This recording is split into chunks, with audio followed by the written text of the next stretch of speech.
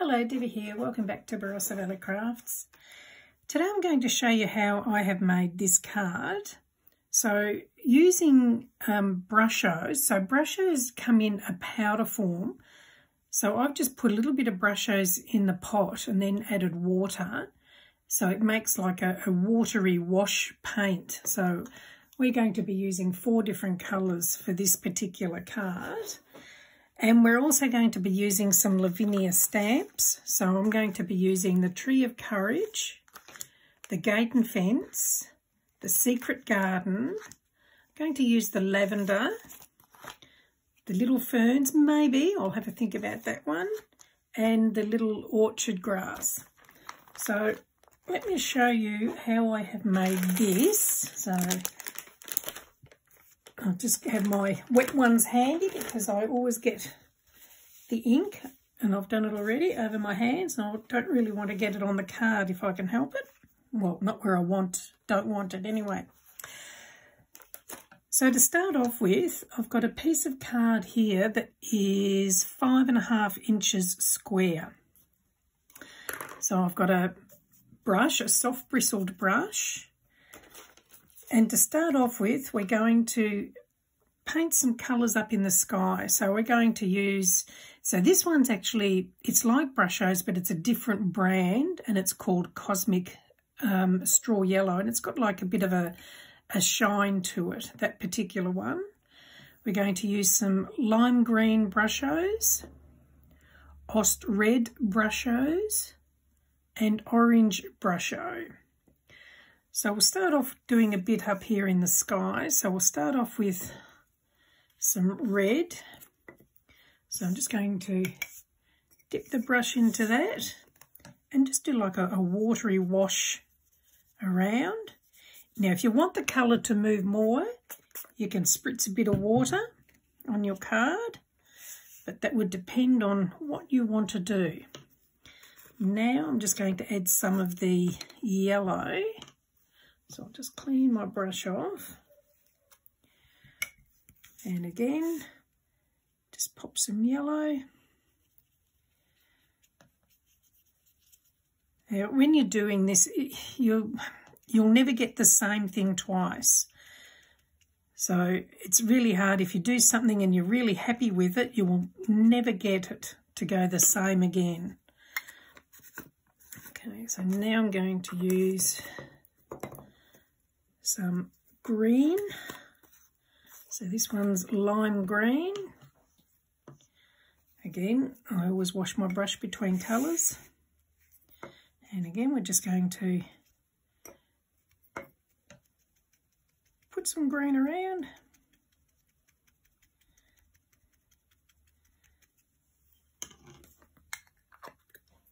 And going to pop some orange as well up in the sky.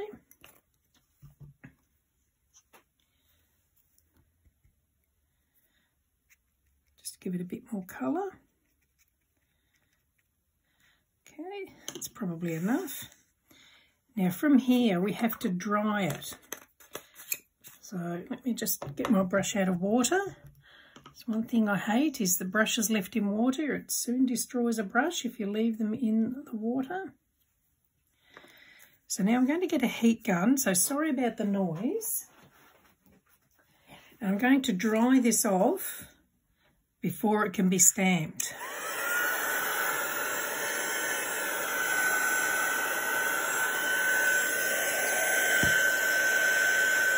I'm not going to edit this, so what you're seeing is in real time. So it gives you a better indication on how long it can take to do all this.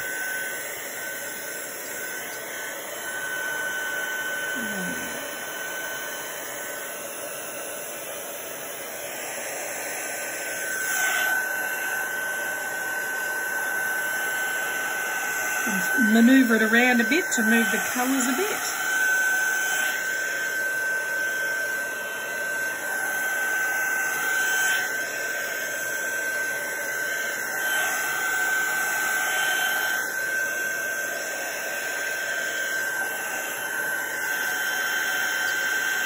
take a while to dry. If you don't want so much liquid on there. You can dab it off with um, some paper towel.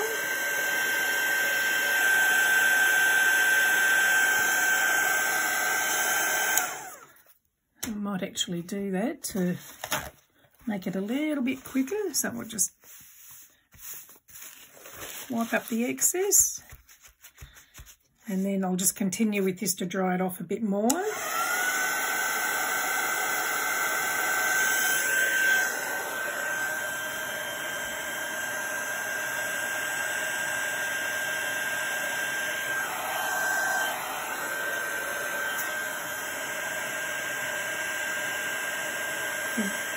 Use the back of the card as well. It will help stop with some of the buckling.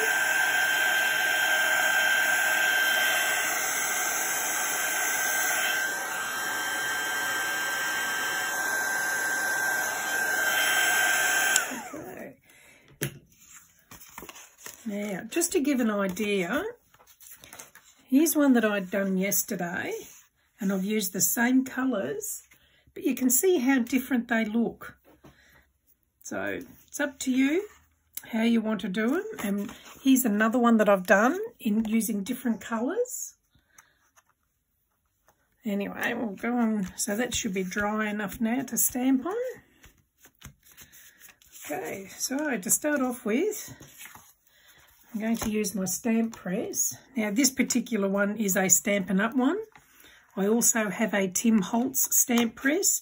We often get people saying, which is the best stamp press to use? Well, it doesn't matter. They all work the same. Just different brands, but they all have the same outcome. And this is just the one that I happen to grab. So to start off with, we're going to be stamping the Tree of Courage.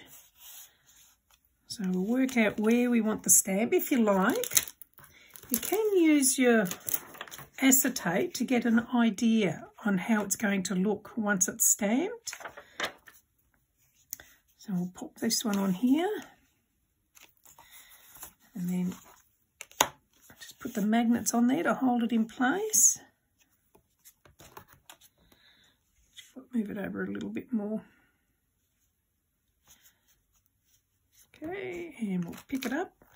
Now I'm stamping with um, Nocturne VersaFine Clair. I always do my stamping using VersaFine Clair because it's a really good stamping ink and it gives a nice clear crisp image. So I'll stamp that one up. Just wipe off this little bit of excess. And always remember to allow time for the card to absorb the ink. Don't just sort of push it on and lift it off. Give it time to soak in.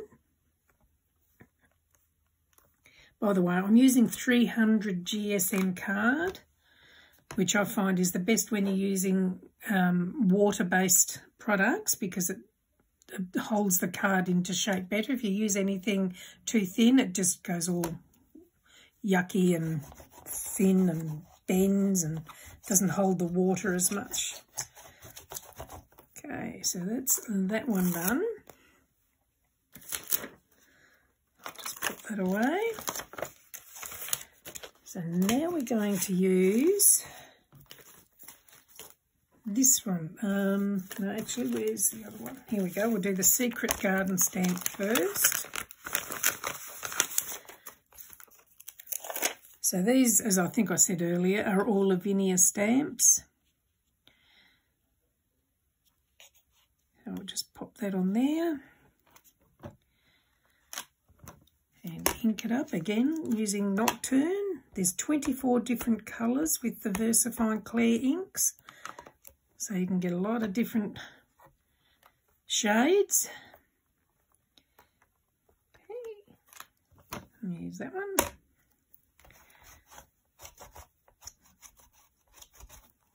Now, I don't know where I originally did this technique. Like I've been crafting for a long time and I don't know whether it's from a tutorial or a previous class, but some of them are just friends show me cards and they say, oh, can you show me how to do this? And then I try and work out how they're done, which can be a bit of a challenge sometimes. So now I'm going to use the gate and fence. I think I'll take it out of this now. And I've got a little stamping block here. So I'm going to put that one in the centre of the secret garden sign. So this is the little gate.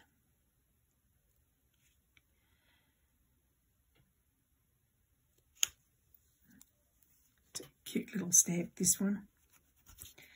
Okay, so now we're going to do some fence line. I'll just pop this onto the block. And this is going to be going in front of the tree. So I'm going to line up the fence and go across the front of the tree.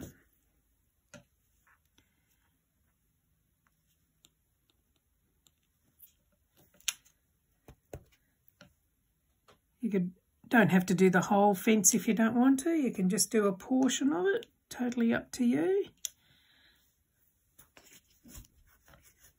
clean that off and then go to the other side of the fence.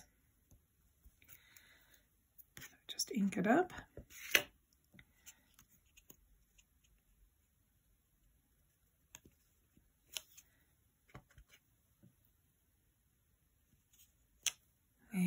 So there's a fence. I don't know whether to, I think I might stamp it one more.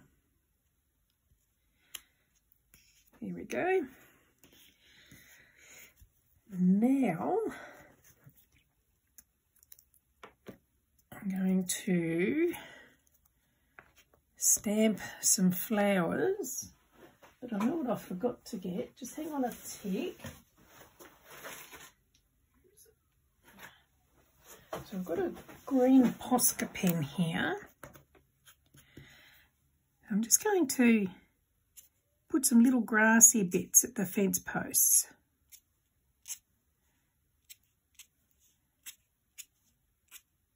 You can put as much or as little as you like. Dry them off. I should have probably done them after I'd done some more. And I'm just going to use my heat gun to dry that off.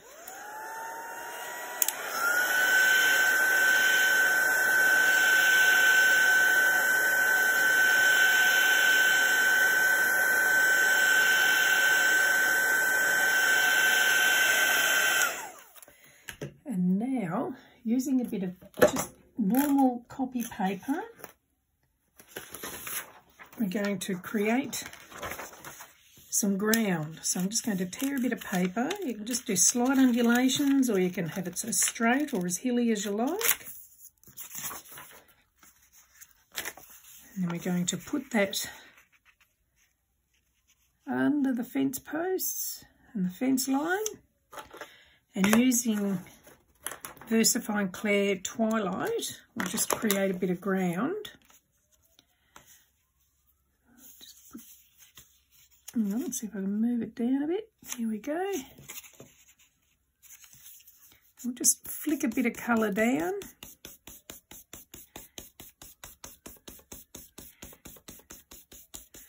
Just to make a bit of ground there for the fence line to be sitting on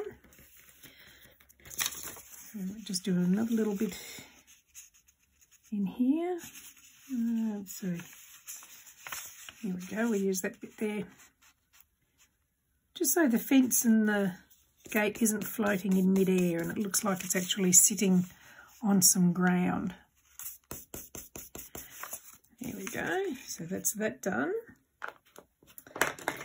So now I'm going to do some florals. So we're going to do, this one's called Lavender. Now you can stamp these in colours if you prefer, but I'm just going to stamp them in black.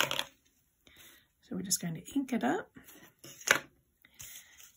and just put some flowers in front of the fence line.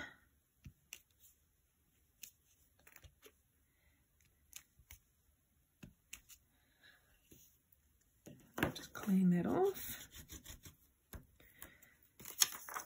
And then we'll do some, uh, where are we? Just trying to find my orchard grass. Oh, here it is, it was under there. I'll just pop some orchard grass on there. So I'm going to stamp off because I want to, I don't want it too overpowering.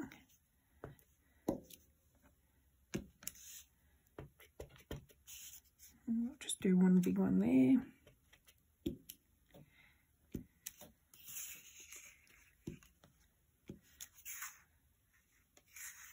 I'll do a little bit in the near the fence, but uh, near the gate, just a little bit. There we go.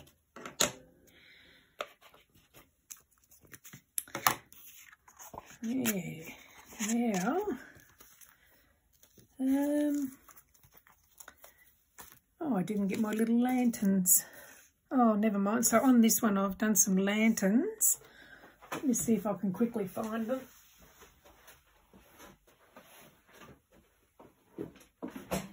Here we go. I've got some little lanterns here we can hang from the tree.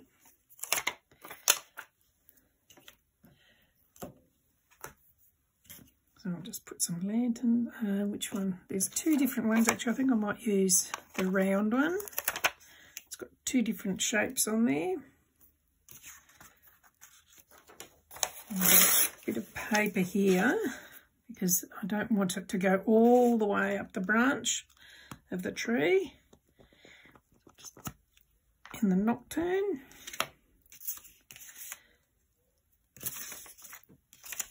I want it to go off, say, this branch here. So I'm going to mask off the top of it. So it just looks like it's connected to that branch. And we'll do another one hanging from that branch. There we go. A couple of little lanterns. And then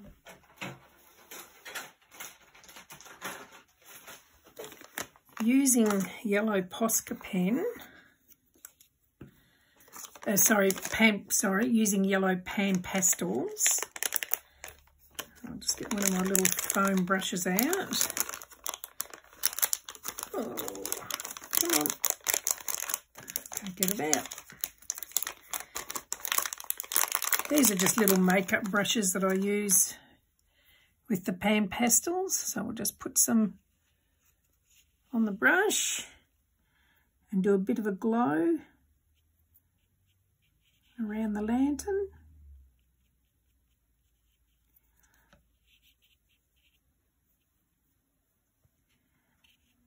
And the other one.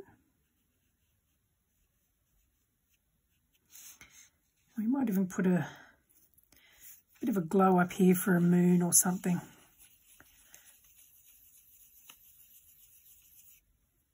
So you can add whatever you like. You don't have to use Lavinia stamps like I have. I just find those so versatile and you can do so much with them.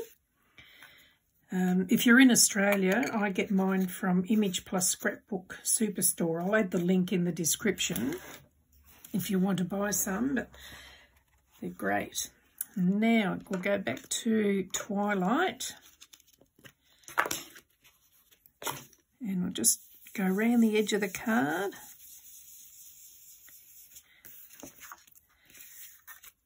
Again, you don't have to use the same colours I'm using. The idea of this is just to give some inspiration, to show you what you can do with what products you may have.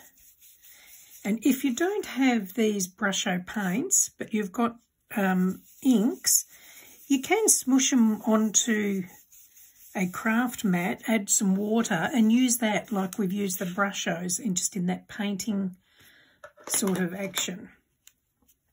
Here we go. So now I'll just grab my glue pen.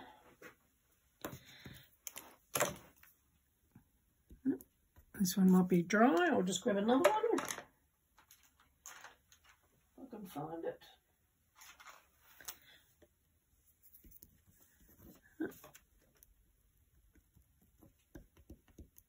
Gotta get it working. So this is just a quickie glue pen. And I'm just going to add some little bits of glitter. Um, let's see, some around the lights, the uh, lanterns. And then just dot some around on the flowers. Not really thinking about it, just dotting it. And we'll add some glitter.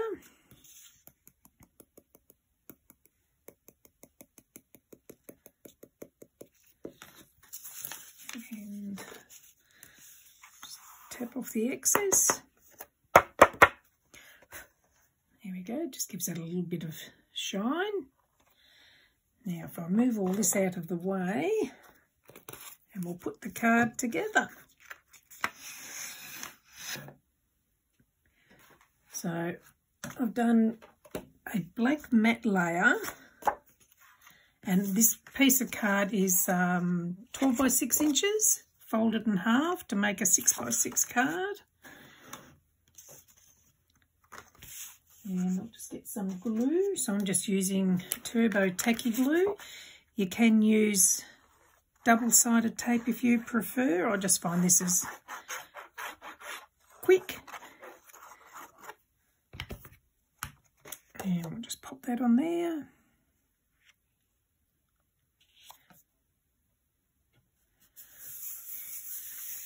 And then we'll put this card on there. While I'm doing this, I do have a couple of Facebook groups. One's called Card Making for Beginners and Beyond. The other one is called um, Barossa Valley Crafts. I'll add the links in the description and you're more than welcome to come and join us if you like and uh, share your creations with like-minded people. And we share hints, tips and ideas. We're not limited to brands. So you can use any brands. Just give it a good rub and make sure it's stuck down.